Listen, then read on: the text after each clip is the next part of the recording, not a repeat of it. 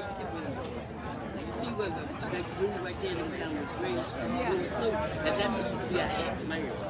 Yeah. Yeah. That's why.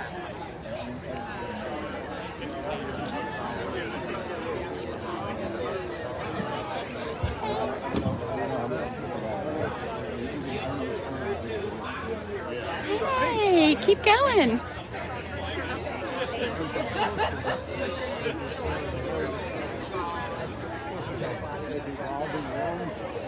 If we can get everybody on up here, please, as soon as we can, we'll get started. We don't want to hold people. So good to see you. Regina. You look so great.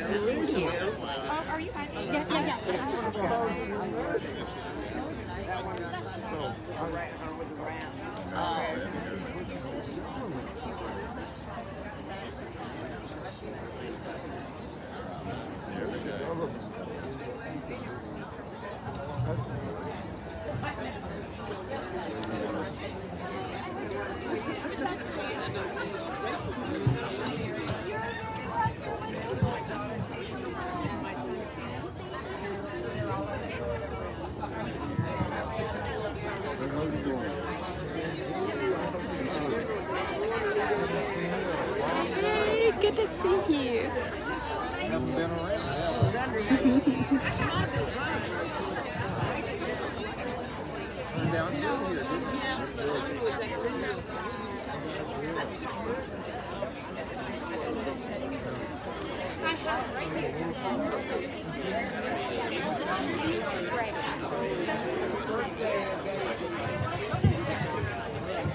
Okay, we're going to go ahead and get started. Good morning, everybody. We are so thrilled to have you here for the ribbon cutting of the Village of Glencliff. We have done this together, and it makes my heart so full that we can be together to celebrate what we have done as a community. So thank you all very, very, very much.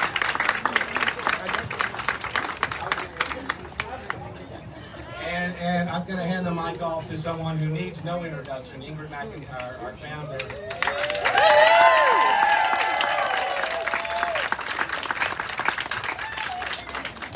What you're looking at behind us is Ingrid's vision, and Ingrid brought this to life. It is probably the most beautiful thing I think I've ever seen. So, I love you. Good morning, everyone. Good morning. As I would say on a Sunday morning, welcome, church.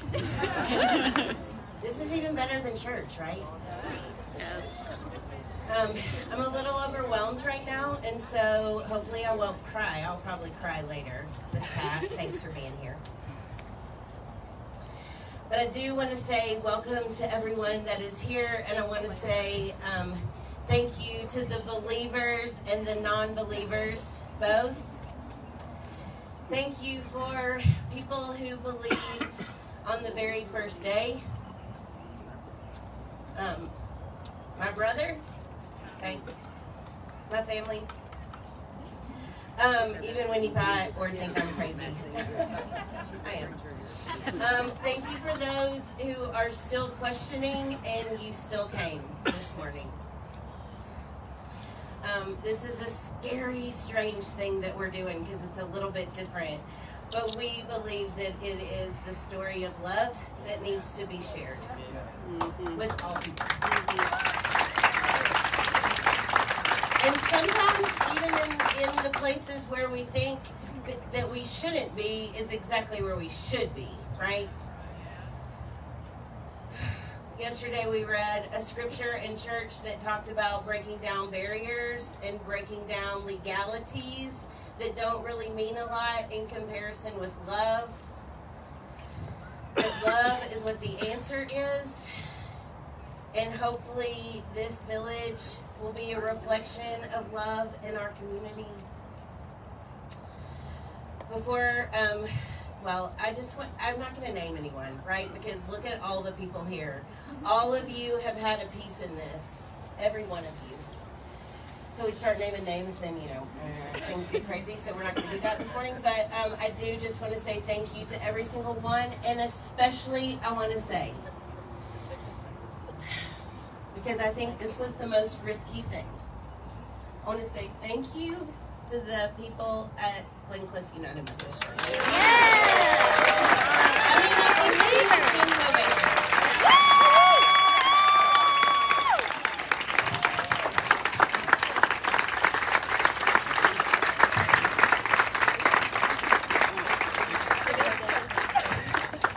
You guys were the bravest of the brave. Whoops. You guys were the bravest of the brave. To say yes, this is what we call risky discipleship. When there are, um, you know, people who aren't so certain that this is the right thing to do, um, but y'all prayed about it, and you said this is the love thing to do, and we're going to do it. And if that means that we lose some members, that's okay. And if that means if our name smeared a little bit, that's okay. But we're going to stand up and we're going to do this, and you've done it. So thank you. It was the risky of the risk. Now, I want to share a little bit, just really quickly. I hate to um, say anything about myself, but just so that everybody knows uh, what is happening. Miss Miss Pearl! Miss Pearl's here! The Garden Queen, she's here. Um, I just want to say that um, really quickly that so I'm going to still be quarter time here at Glencliff United Methodist Church, and I am now three quarter time at Belmont United Methodist Church as the um, pastor of community engagement. Which I said they kind of hired me to be the shit stirrer, and then Charlie Strobel said, "Well, isn't that what you are?" yes, Charlie, right? That's what we got to be doing, stirring it up. So that's how I'm serving in the capacity now here in this space. And then um, want to introduce to you right now um, Rob Nash. Here you go. And I just want to share that um, I have to read these things because I don't know all the things, but for the past 11 years, um, Rob has been serving as a nurse practitioner at Vanderbilt Comprehensive Care Clinic for people who have HIV and AIDS who maybe don't have a home. Or maybe who it's been difficult for them to find their medication, or who don't have um, health insurance, or who don't have a supportive um, community around them. And so, Rob, instead of meeting with them 15 minutes every six months or so, he meets with folks an hour a month to make sure they know that they're cared for, right? To make sure that they know that they're not alone in this fight, that just because they may not have a nuclear family, a family related by blood, they still have a family related by love. For those of you who know me, I don't like to sing blood songs in church, and so a lot of times I change love for blood, and I always say love instead. And and and Rob has represented love and community and family to so many people, and that is why he is here today. That is why we can say, Rob, be our fearless leader and take us on to the next steps, right? So, Rob, um, I just want to thank you for being willing to do this. It's a lot. Um, but as we all know, I am not a manager of humans. I'm, I'm a shitster. and so, um, thank you for taking this um, special love task on. I love you. I love you.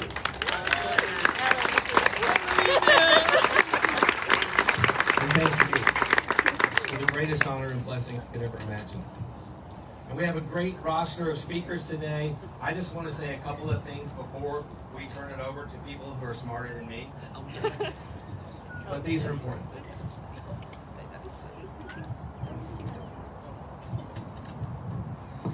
Being forced to live without housing isn't difficult. Being forced to live without housing isn't challenging. Being forced to live without housing is brutal, traumatizing, dehumanizing, and lethal. I've spent the last 15 years working with people traumatized and marginalized by the experience of being unhoused or having HIV or both. all three preventable epidemics. I know from years of working with these people that the physical, mental, and spiritual pain inflicted by trauma is real and far reaching. I also know that there's not a pill for trauma. The only way to permanently address trauma is with the tools of time, love, and community. TLC. Time to build trust, love to create self confidence, and community to sustain trust and self confidence. And speaking of community, look behind me and look at the marvel that you have created.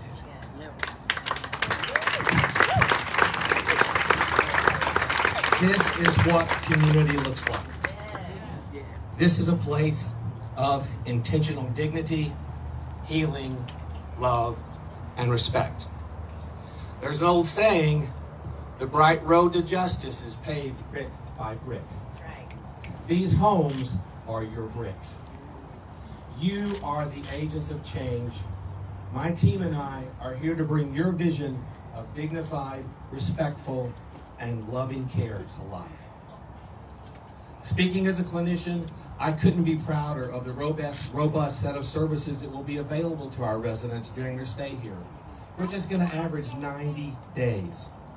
First class respite care rests on a foundation of clinical care, as healing the body is fundamental to the full life that is a birthright for every last one of us.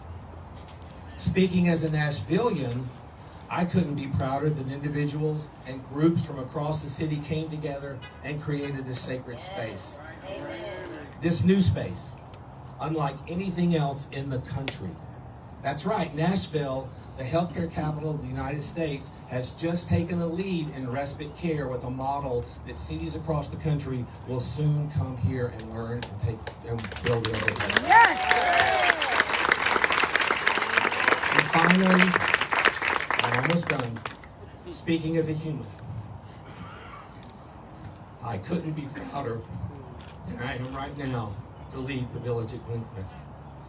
This community is love in action. A place to give love, a place to receive love. A place where those who have been powerless for so long can come and heal in bounty. A place that heals all none of us is truly healthy until everyone is healthy. Thanks to everyone for being a community and giving community to our most vulnerable friends and fellow children of the Creator. Thank you.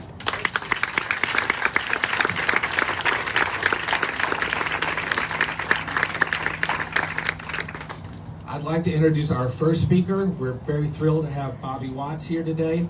Bobby is the CEO of the National Healthcare for the Homeless Council. And this is one of Nashville's hidden gems. If you don't know about it, you really should. The National Healthcare for the Homeless Council is the nation's premier advocacy clearinghouse, education, and support organization, helping all 165 respite organizations across the country to be better and give more care every day. And it's right here in Nashville, Tennessee. So thank you, Bobby, for taking the time to be with us this morning. Thank you. It is indeed a great honor to be here, and this is a great day. This I, I felt it was just so fitting when I come up and I see live music in Nashville, when I see all the smiling faces, when I saw that the cars are backed out to the road, I said, This is a great day. This is a great day for Nashville. This is also a great day for the whole country. As Rob said, there is nothing like this in any part of the country yet, and you have led the way. I just want to, um, yes.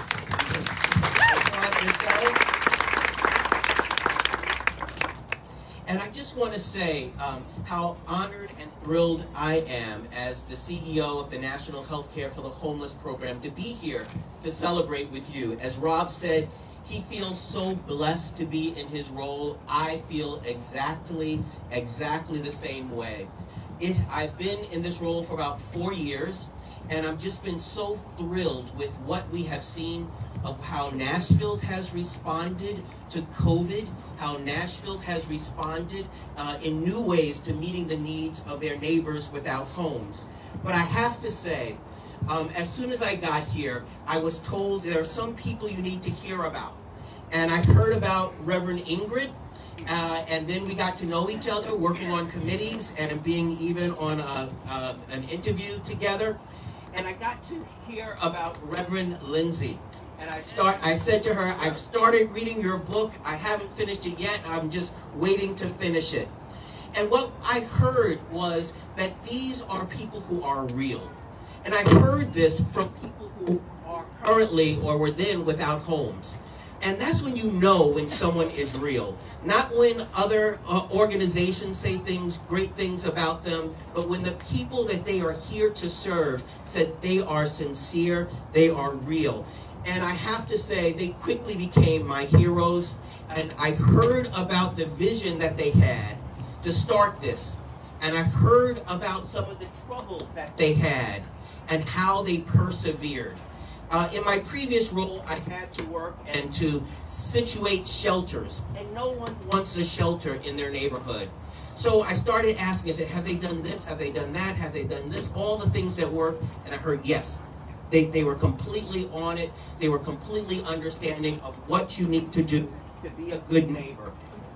So um, I just really want to thank them So and give them a round of applause for making this day possible with their vision, Oh, the tenacity. So the thank you so much. I'll go look. Okay. And then I heard about United Methodist Church. I heard about a church that gave part of their land so that tiny homes can be built, so that their neighbors could have a place to be with dignity, and that they could have a mm-hmm. safe place to heal. And I immediately said, that is a church that is putting love into action, that is showing really how to love our neighbor, of how is putting hands and feet on the good news, of showing God's love and reaching out to their neighbor without homes. And I just really was so impressed and really want to thank you and, and congratulate and thank you so much, United Methodist Church.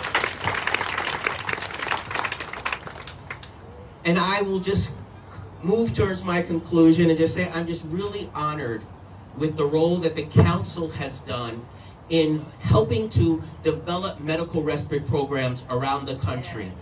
And just over a little, uh, actually one year and four days ago, we said we need to really um, elevate the, the, the view of medical respite programs, and we started the National Institute for Medical Respite Care exactly a little over a year ago on July 15th, 2020.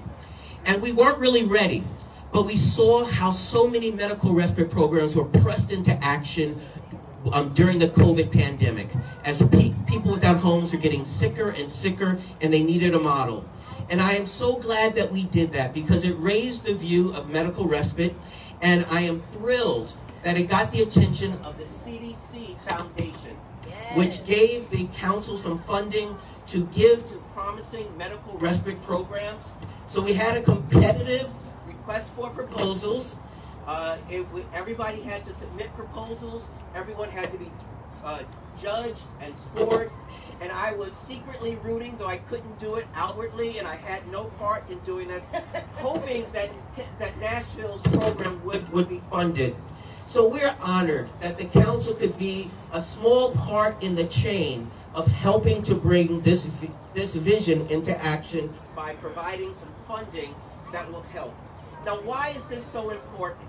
Why is Nashville's program here at Glencliff so important? It's doing two things that I think could be revolutionary and game changing for the medical respite programs around the country. One of them is that it's using uh, tiny home. Thank you. One of them is just using tiny homes. Um, and I think what a way to give people dignity as they are healing and, and, and having a safe place to heal. The second, and this may be a little wonkish, is they are using SOAR, a special program that helps to ensure that people who have disabilities can uh, be successful in their application. In my previous role, this cut down our um, our refusal rates or our rejection rates from the first time around from about 70% to 20%. In other words, we were successful 80% of the time by knowing what to do. Now, why is this really game changing and revolutionary and why I think others may want to do this? And I'm like, when I heard, I said, wow, why didn't I think of that before? It is because once they get the disability, um, once they're uh, um, certified as having a disability, they get funding so that then they can get permanent housing, they get other services. So one of the hardest thing about medical respite is when you are ready to leave, when they're healed, where to go. This can be a way to ensure that people have long-term permanent housing, stability, and also the services that they need to deal with their disability. So this is a great day for Nashville, a great day for Glencliff, a great place for the country. And because of this, many people without homes will have great days in these tiny homes as they heal but more importantly, they will have many, many more great days in permanent housing. And it's all because of what you have all done together. Thank you for this great, great day.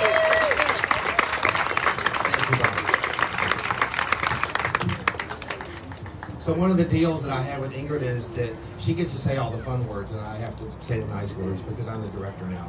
So when I introduce Odessa Kelly as a fellow troublemaker of Ingrid's, I'm not going to say what she's stirring. So somebody else gets to have that pleasure.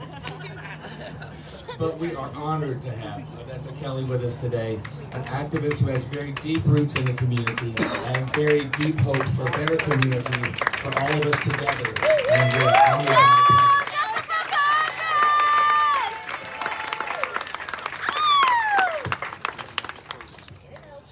to have her. Good morning, good morning, good morning. Oh, we can do better than that. Good morning. Good morning. Can the people behind me, can you hear me? Good morning to you as well. Hello, Mama Pearl. My name is Odessa Kelly. I am the Executive Director of Stand Up Nashville. Glad to be here with you this morning. Anyone who knows me, I usually don't write stuff down, but I was honored that uh, Ingrid asked me to come speak you know, this morning. And over this weekend, I was really, really thinking about it. So I don't want to miss anything, but it's okay if I have a good, real conversation with everyone today. Let's go! All right, that's exactly what we're about to do. So, what first thing I had to think about is much too often this year, last year, I've had to show up to events, public gatherings, in protest or resistance, you know, to something that is happening or something that is going on, you know. Um, it feels really good to be here today for this type of occasion, you know. So yeah. It feels good to be among people who I consider allies, the beloved community of Nashville, our city, our communities. And I have to keep saying that because it is ours and we need to do a better job of having ownership and autonomy in what is ours. you know? Today we witness another piece of the puzzle. And by that I mean us building this city, our city, our communities, with our values in the way that we want to see Nashville grow. In the way that we want to see Nashville grow. And I have to keep repeating that, you know. It took, what, $270,000? Just for the field to start this. $270,000 is what it took to start this, the feel of the dirt. But more than that, what it took was a bunch of people, you who are here today, saying, how do we make our communities whole? How do we build communities that heal, that perform in a way that make that restore people for what they need? Much too often, far too often, we have been building Nashville in a way that is punitive to those who do not have. And you can fill in the rest of that. People who don't have homes, people who don't have resources, that don't have family, that don't have money, that don't, that don't, that don't. Yet they are still part of our community. Amen. So I'm proud of this community. I'm proud of all of you to stand up and say, hey, I see you as a part of the community. And what we're going to do is that we're going to create a tool and a pathway that allows you to re-engage with the community in a healthy way a pathway to restore you and bring you back into the fullness of what it means to show empathy, to show people that we're all here with your struggling, I'm struggling as well to help you solve that problem. This is a momentous occasion here today. I don't want us to like diminish the value of what has happened here today. I say that again, and I brought up the number of $270,000 is because I don't know if any of y'all know Tupac, but there was um, there's a good scene if any of y'all can find it where Tupac says we shouldn't have lottos that have 36 million dollars and we got people living on the street. When we have people starving, people going without homes, apartments, you know, pants. Think about that. Now I look here today where we have millions of dollars that are going into entities that don't need them. Yeah. What would happen if we were to take the state lotto and really build affordable housing to build housing in a way that we need to see it in this city? What would happen with that? Just think about it. I saw a young woman over here standing a second ago and she was crying tears of joy because she had to work real hard, real, real hard to build this. And this should just be the way that we do things. It took a church it took a church and private citizens to build what should be automatically public policies. It should be intentional in how we build our city and how we live in it and how we grow in it. And we have to keep doing that. So today I want you to remember that your job is not done here today. Oh, this is you getting charged to do the rest of the fight that we need to see happen not only here, but across the city. So take this good energy that you have here everyone that you have right here in this moment and let that feel a seed to grow across this uh, country. All right, but definitely in the city of Nashville, we need it. This weekend, I got to sit with over 30 or 40 civil rights leaders, real civil rights leaders too. I mean, those who was back in the 60s and 70s, you know, you know, catching the real, you know, trauma and brunt just because of the color of their skin we celebrated the life and the legacy of John Lewis this weekend.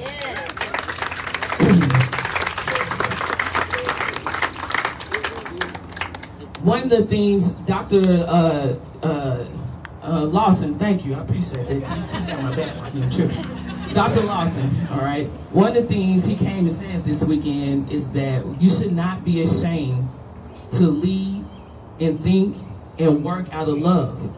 And far too often, it is the last thing that, the last option that we take, if we take it at all. Could you imagine what this city would look like if we led with that?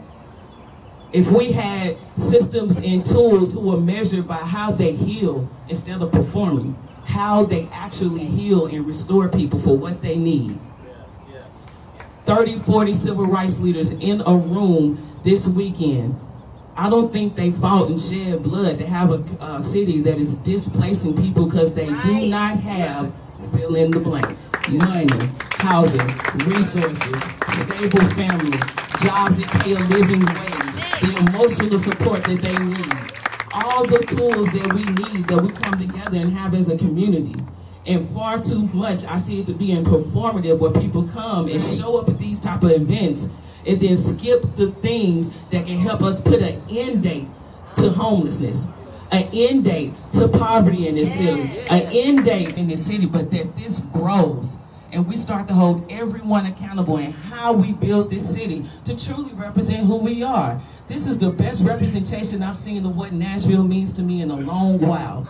And that needs to keep growing across this city. I'm not going to keep going because I can go all day.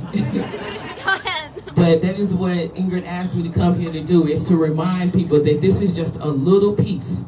A little piece. This is a reminder of who we are as a city and the ability of what we can do when we come together. So again, give yourselves a hand.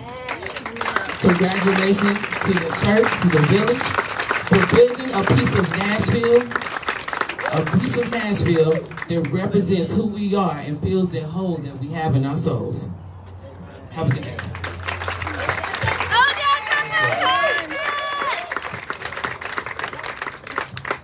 Honored next to have our vice mayor here with us today, Jim Shulman.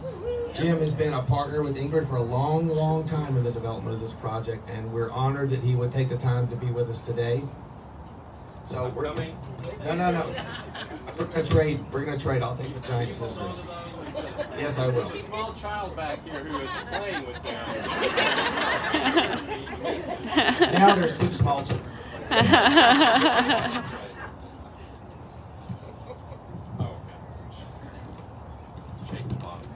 Good morning, everybody. Everybody good? A nice warm day. So I am a politician, so I have to speak longer than Odessa spoke. Uh, I'm going to be up here for about three or four hours. I can get some water. Oh, no, no, okay. So I do need to recognize we have a couple of council members here. Burkley Allen is back here. And Councilmember Ginny Welsch is back here. And then we have, a, I know we have at least one judge here, Linda, uh, Linda Jones. Where did she? Oh, she had to leave. Okay, well, she was here, honestly, I did see her. And David Briley is here, our former mayor.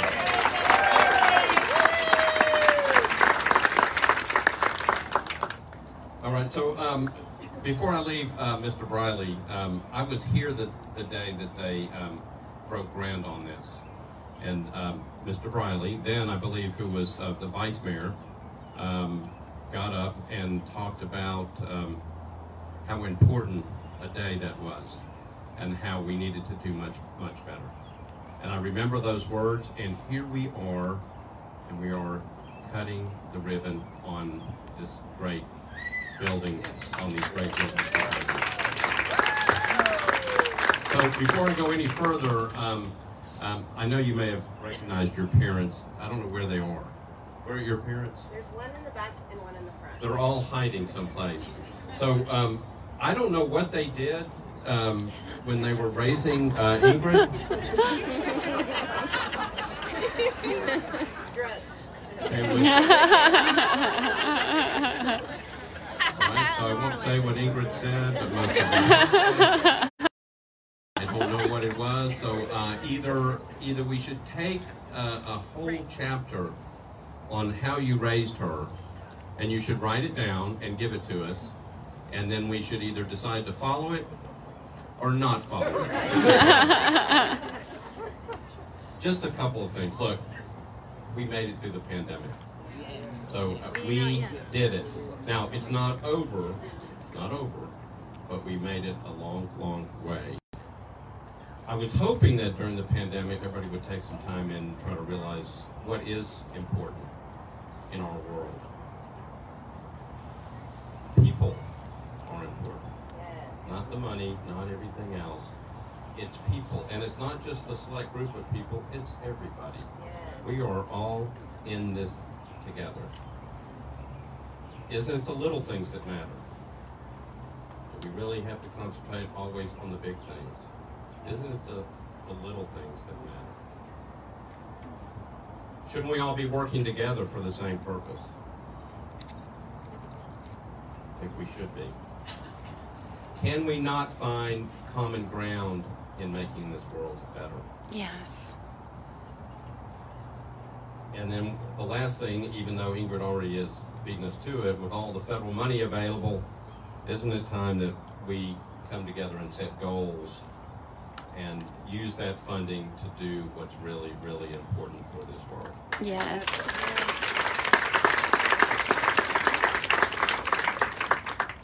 I'm hoping y'all are watching the scissors behind me. Make sure. So um, I'll end by saying this. So this is um, um, the 20th year since 9/11. A long time ago.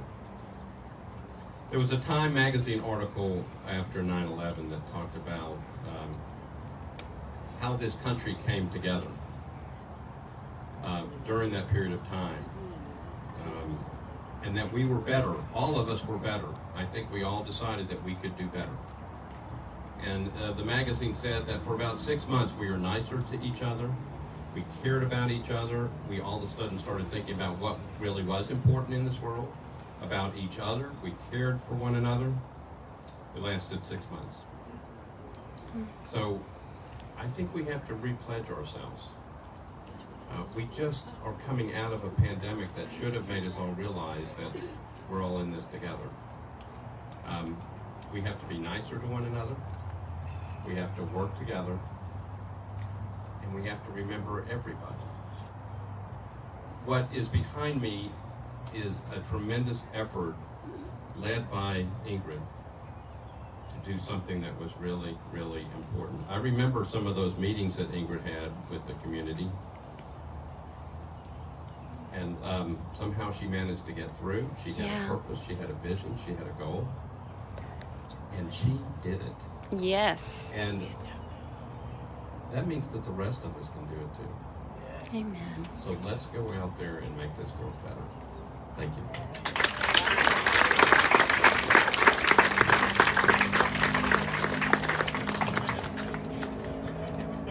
Thank you, Vice Mayor. And now our last speaker, we're honored to have one of our board members with us this morning, Ms. Valea Tidwell, and we're going to do this together. I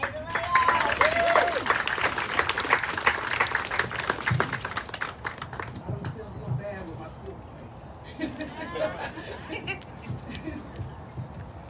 Hello, my name is Valea Wilson. I am a recovering homeless advocate. And the reason I say is because I say I'm recovering is I'm still learning how to live for many years spent on the streets. Being afraid, lonely, and scared. And humiliated, humi- humiliated. it's a struggle. Each and every day, I'm still learning how to, to live again with the, with the help from my family and friends who believed in me, who believed in me. We believe you here. We love you. Do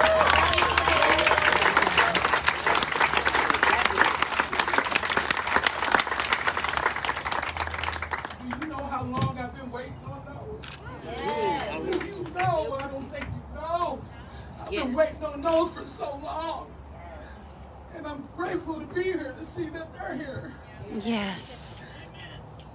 The most important part, they reminded me that I wasn't alone. When I look at these homes, I think about I wish they were here when I needed them. Yes. Just to see how far we had came. Yes. When I was homeless, there was time I wanted to give up. During that time, I met Lindsey Krinks, who is a homeless advocate with Open Tables. I remember us having a brief conversation, seeing how genuine and loving and caring she was with the homeless people. During that time, we became friends. We broke up fights together, we laughed together, and we cried together. In the midst of all that, she was helping me get my life back together. During this time, I got hit by a drunk driver. It crushed me mentally and physically. Two broken hips, one broken leg, a broken ankle, with a broken pelvic. Then depression kicked in. Thought I was alone until they showed me different. With the help from my family and friends, again, they took time out to visit with me. They talked with me. They kept helped me keep up with the holidays. They helped me keep my sanity. With limited rehabilitation, nowhere to go, no help, had begged someone to let me stay there. Or I would never made it out here on these streets. When I looked at these homes, the word gratitude comes to my mind. My homely, my homeless community doesn't have to do this alone anymore. Yes. they have something to look forward to. I've been through. I'm so grateful that the micro homes are finally here. Thank you. Much love, all.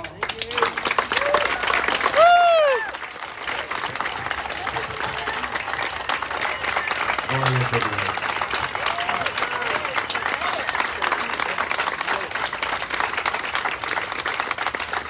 Thank you, David.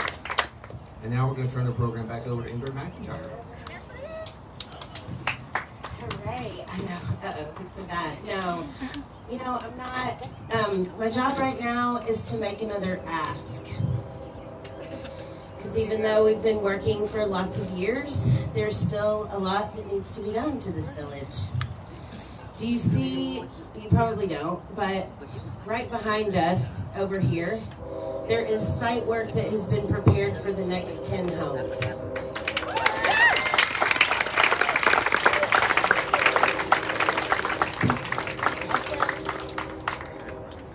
Also, this is my nephew Cole. I've seen a lot of people over the past couple days. So we need to raise some more money for the second half of the village. We have a kitchen uh, right behind Randy Morgan. Put your hand in the air. That's our general contractor, by the way. We love him. So right behind us, there's um, there's a kitchen that is going in. We just took out a kitchen, um, and we're putting a commercial kitchen in. We still need to raise funds for two of our salaries. So I'm not going to go into a lot of things because I think all the people behind me have said all there is to say and shared all the reasons that we need to continue to support the village. So if you can, there are envelopes here.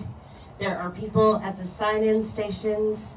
There are QR codes if you're fancy like Allie Rutland.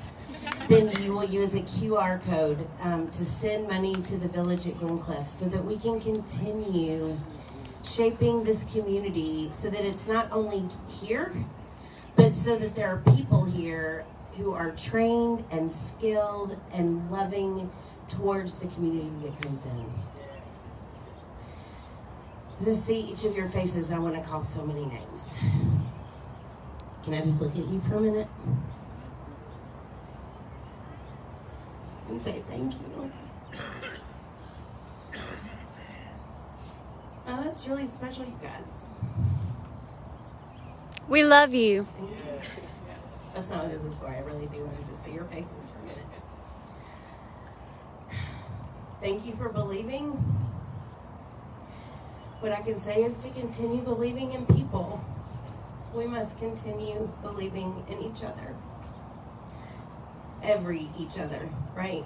Not just special each other's or what we think are special each other's.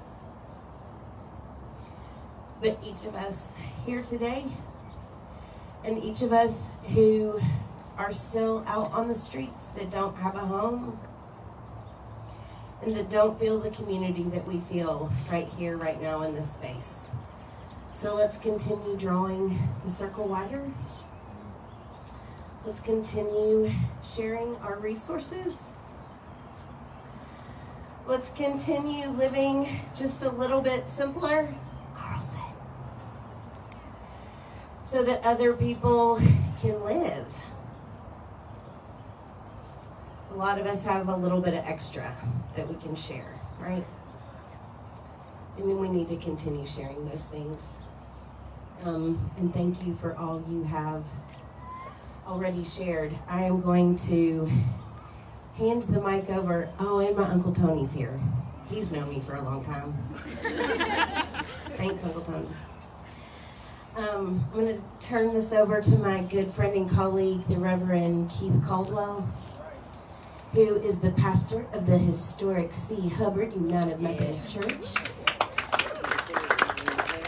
who is a fellow freedom fighter and advocate, and he really doesn't need much of an introduction. I love you.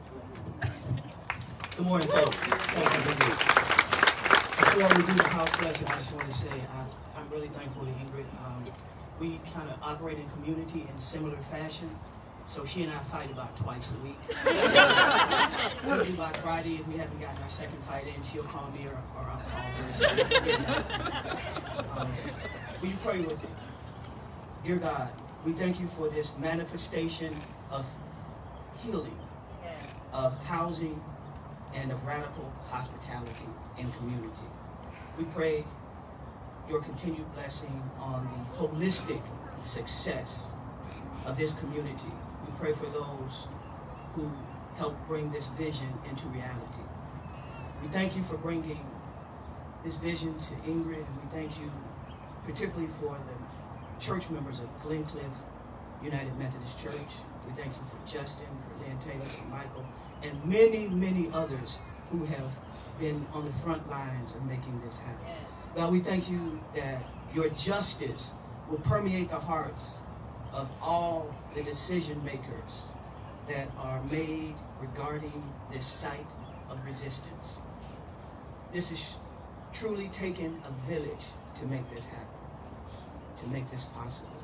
We ask for your continued blessing on this effort.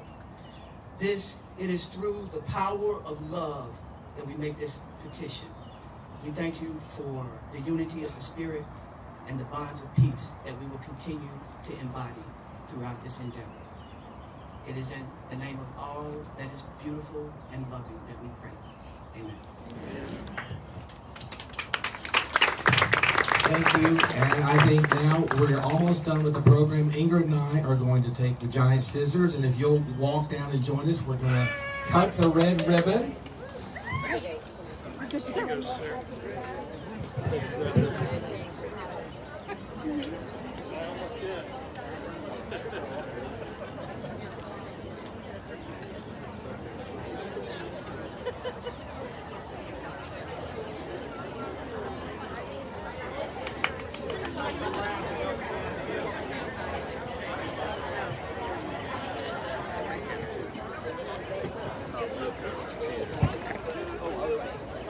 I know, I'm not involved.